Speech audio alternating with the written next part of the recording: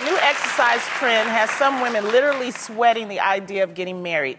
Women who have a feeling that their man might pop the question soon are getting into propo- quote proposal shape. Oh Lord. So that they'll look extra fit when their man gets down on one knee. Now, ladies, are you doing extra yoga sessions? To, they're doing extra yoga sessions to the day to cut back on alcohol, even going to boot camps so that they'll look cute on their gram when the proposal picture Yeah. and the videos happen. So, ladies, do you think this is being too, you know, presumptuous or is it just being prepared? Yeah, what? the- Why not just do it for yourself? Why do it for the gram and Yeah. for your soon-to-be whatever fiance? Because what if he doesn't propose? Then what are you gonna do? Are you Well, gonna then gain, you'll be in all really the weight good, back? You'll be in really good shape for the next guy. Exactly. Yeah. What I will say is this: I have, I have got to be honest.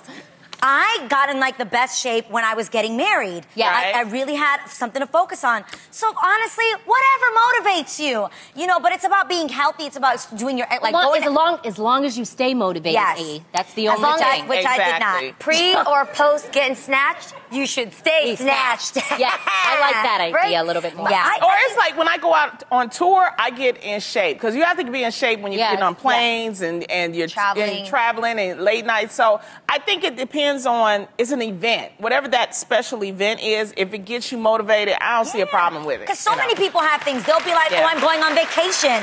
I want to look amazing." But how do you even know when your guy is gonna propose to you? Well, put it in your mind so it'll get you to the gym. You know what I'm saying? You know- like, I didn't. Well, the one time I thought Adam was going to propose, it didn't uh-huh. work out that way. What happened? No. What do you mean?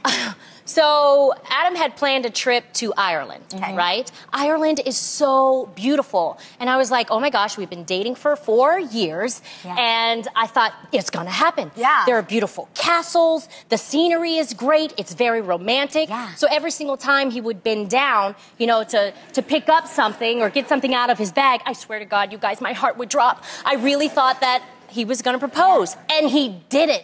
So, on the flight back, you guys, I cried for almost. Are you serious? I swear to God, I cried for almost like 10 hours. For the first four hours, Adam was like, Is everything? Is everything okay? Oh, wait, you were crying and he was sitting next to you? Yeah, but I just blamed it on the fact that I was watching like a really sad movie. Oh my gosh, So then yeah. the next like five hours, I still kept crying, and he was like, "Okay, okay, wait a minute, wait a minute, something is really going on." And that's when I said, "Babe, I thought I thought you were gonna ask me to marry you." And he was like, "Oh man!" And then we broke up. We broke up the next uh, year, and uh, then the year after that, he asked me to marry him. So it all worked out eventually. But clearly, but Yeah. man. yeah, it was horrible. Okay, I have to be honest. But were you in shape though when you was in Ireland? Were you, was you doing all of that? I was in shape, Okay. Loni, Okay. because I was in shape for myself. Okay, that's all I'm asking.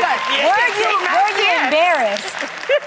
I wasn't embarrassed, you guys. I was just sad, and I remember calling my sister, you know, really upset. And but you know what? Things happen for a reason. But that was before the I'm- gram, though. You know, I mean, that was before Instagram and But I Twitter still and wouldn't stuff do it for like the that. gram, though. But some people, I mean, but some women feel really bad, like you know, because you know, you get likes You get and pl- pressure Oh, to make sure that's everything's just perfect. dumb. and But. I will say, this is a real life story. I just is. didn't think it would happen to my friend. but I have a lot of friends where they're they've been with a guy for a Yeah. long time. Then they're about to go do something momentous, like Yeah. he's taking me um hot air balloon on a hot air balloon for the first Yeah. time, or they're going somewhere far and exotic, and she is sitting there thinking, "Oh my God, Jeannie, it's the one. This is gonna happen. What should I wear?" And I'm like, I'm sitting there like, "Girl, don't let be let hanging. I don't want to build your dreams up because Yeah. you might be crying on the plane home Yes. with him."